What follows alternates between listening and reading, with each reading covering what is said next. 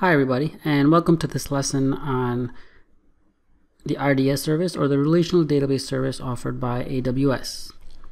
So what we're going to do in this lesson is I will create a database instance and link it to the RDS service in AWS. Now if you guys remember from the previous lesson there are multiple databases that are supported by the RDS service you can see them listed here, such as MySQL, PostgreSQL, MariaDB, Oracle, or the MS SQL server. So what we're going to be doing is creating a database instance for MySQL in this demonstration. So I've already navigated to the RDS service through our through my management console. I'm going to go ahead and create the database to get started. Now, just to keep in mind for RDS, it's a bit out of the scope of the Cloud Practitioners exam, but that information is required when you, if and when you are preparing for the Solution Architects exam. There are some prerequisites that you need to keep in mind before creating the database instance. For example, you should have the IAM users created with the default permissions that would be required to access the database instances given to them. So we would need to create IAM users and groups and make sure that the required permissions for them are there in order for them to access these database instances in RDS. Now by default, we have already created an administrator account that has admin privileges across all of the AWS services. So we're not going to go ahead and get into the details of creating additional users and groups. We're just going to use our administrator account or our root user for the purposes of this demonstration. Additionally, each database instance resides or will reside in a VPC or a virtual private cloud. Now the default VPC that is created by Amazon when an EC2 instance is created automatically allows access for database instances within it. But if you are creating a custom VPC, then you will need to create within the security groups access for the database instances. Just keep those in mind when you are going through this. And I'll cover the security groups in the VPC section so you can get familiarized with how you can create and configure them within VPC. But just keep in mind that the default VPC that Amazon creates automatically grants permissions for the RDS instances. We're going to create a database and I'm going to select the MySQL service and it gives you a bit a snippet of information regarding MySQL. It supports up to 32 terabytes of information, supports general purpose, memory optimized, and burstable performance instance classes, supports automatic backup and point-in-time recovery, and up to five read replicas per instance within a single region or cross region. Now here is where we can specify the instance details. First is the license model, which again we're going to keep the general public license. If you have customized or specific licenses, they're more geared towards if you have MS SQL Server, they would be required here. What version of MS SQL you would want to use. We're just going to stick with the version 5.6. And this is also, since I've enabled it for a free tier usage, it has some limitations. It provides a single instance as well as up to 20 gigs of storage. For testing purposes and for training purposes, this is more than enough. In the additional settings, you have the DB instance identifier. Here we can type a name for the DB instance that's unique for the account in the region that we are working in. The master username, again, just like the name suggests, this will be the main account that you can use to log into the database instance.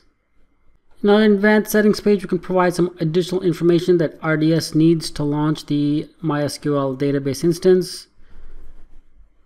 So first we can select which VPC we want to install this instance in. Again, I do not have any user-defined VPCs created. We will create those in the VPC section. But this is the default one that is created by AWS. And same goes for the subnet public accessibility if this database is going to be accessed by the public you can click on yes or no now just as a general practice rule most databases should reside on a private subnet and not have public accessibility. When we get into VPCs, I'll explain that in a little bit more detail, but usually the databases reside on a public subnet and they work through a NAT or a network access table to get access or give access to people that are on the internet. Also, we can specify which availability zone we want this instance to be, or if you don't have a preference, then AWS will automatically pick an availability zone for, to launch this instance in.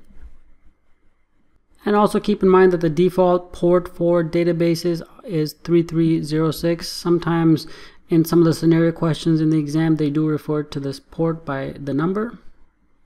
And also keep in mind, since RDS is a fully managed relational database service offered by AWS,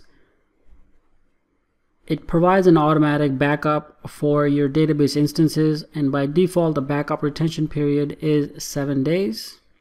But you are able to increase that if you want AWS to retain the backups for longer periods of time.